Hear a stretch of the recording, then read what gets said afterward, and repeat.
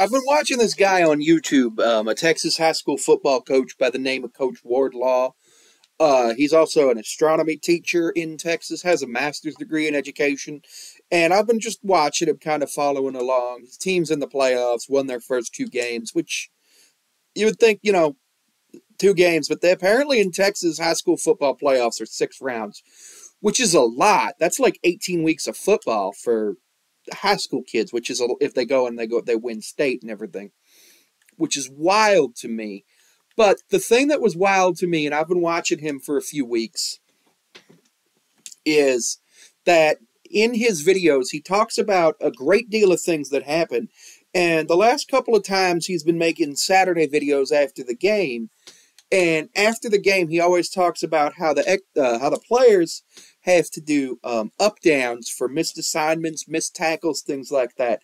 And it's the entire team has to do it based on the amount of those things, which is which is ridiculous because well, it's two things that are ridiculous. One, it's collective punishment of a team, and the other thing is it's it's uh, using punishment, using exercise as punishment. Now, corporal punishment is legal in Texas. That means if a teacher wants to hit a student, they can. Uh, but it shouldn't be legal because it's ineffective. And using exercise as punishment is a form of corporal punishment, which means that yes, what he is doing, and well, he is not the head coach, but what the head coach is doing is perfectly legal. But I do not think it's acceptable for that. And there's a few other things that happened. Apparently, in uh, the sub varsity games a couple of weeks ago, one of the players on his team suffered a catastrophic injury that was so catastrophic that the game had to be basically uh, canceled, or ended early uh, due to the injury. And I have not seen a single update about that player from him. Um, I did look online and I couldn't find anything about the injury. Uh, a lot of times, like sub varsity high school players will get injured and then there won't be anything. Uh, there's been a lot of high school football injuries this year. It's been it's been wild. Like down in Pennsylvania, uh, this year. Like within the span of like 10 days, two people had to get airlifted off the football field because of severe injuries. But my problem with high school football coaches that that um, that do this specifically with uh, using exercise as punishment is that it's not setting up those those kids for long term success. When it's it's proven that when exercise is used as punishment, kids will end up having a negative association with that exercise and then once they're done with their organized sport, um, maybe after high school, maybe after college, maybe after, if they're lucky enough to go to the pros, maybe after that, they won't exercise. And what will happen is they're, they're so used to eating the level of food that they eat to, you know, maintain their, their caloric needs as an athlete, that what happens is they end up becoming extremely fat. Uh, excuse me. And I'm extremely fat, and one of the reasons for it is because, well, I eat too much and I don't exercise. I've been working on that. I actually quit drinking alcohol uh, earlier this year and actually have lost 40 pounds. But when I did Taekwondo back when I was a kid, that was a thing that was done. And it's just like I still have negative connotations with exercising, and I'm like, I'm getting better with it. I'm working on doing some stuff. I've been walking. Um, I don't have a vehicle, so I have to walk a lot of places. Plus, I'm a college student, so I walk from one building to the other building all the time. You know, maybe go from the one building to the student union to the library to another building, stuff like that, which helps. But my other problem with this is that every single time he has a video, you can see the players in the video, which you shouldn't be using. Um, as a teacher, you should never have your students in your videos uh, but as a high school football coach, you are still a teacher for those students. You're teaching them how to play football. And it, it, it incredibly bothers me that every single time he's showing them.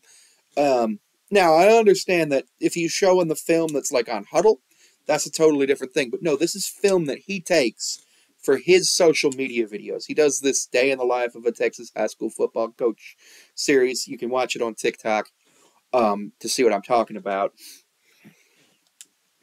and it's it's Monday through Sunday every day. He's showing it, and it's wild what he does. He'll get to school at five thirty a.m. He'll start um start his day like with a workout, which actually that's kind of cool. If you if you're a high school coach and you have access to a gym for your students that you can use, that's cool. I'm totally cool with him doing that. Um, I actually think like most high schools should allow their teachers and coaches to use the weight room when they can, uh, which is a cool thing. But then on top of that, after that, he gets to school at like 5, 5.30, 5.45. He'll, um, he'll show what, what they do with like the sub-varsity teams on the team, which, okay, but that's not, that's before school. No, it's not. It's first period. Their first period is an athletics period.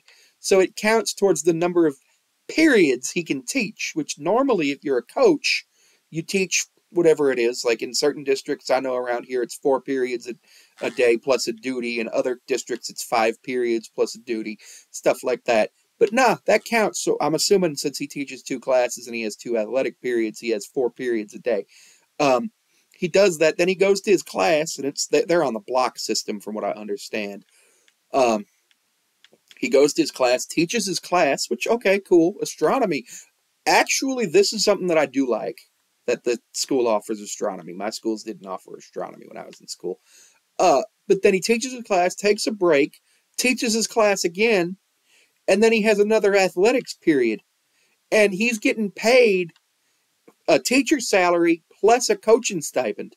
And the coaching time is part of his periods and his duties. And he doesn't have a duty, it doesn't look like. He has extra duties for the football team. But like what is like is is high school football that big and that important in Texas that you only want to teach that you that you literally have a teacher only teach two periods a day? Like what? I'm so shocked. And that also means that those kids, which is a good thing, uh, in this case, that would count for their physical education credit, which I agree with. And I think any student who plays a sport should get that um, physical education credit for the time that their sport is. So if it's a fall sport, they don't take physical education in the fall semester. If it's a spring sport, they don't take PE in the spring semester, stuff like that. That's something that I just agree with.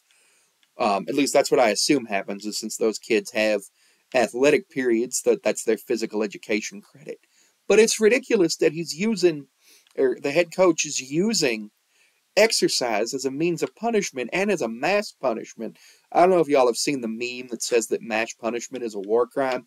Now, you shouldn't accuse your teacher of a war crime, and I'm not accusing him of a war crime here, but using exercise and exercise as mass punishment is just stupid.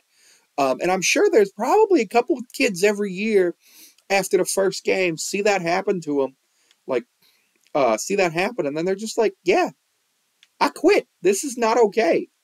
Um,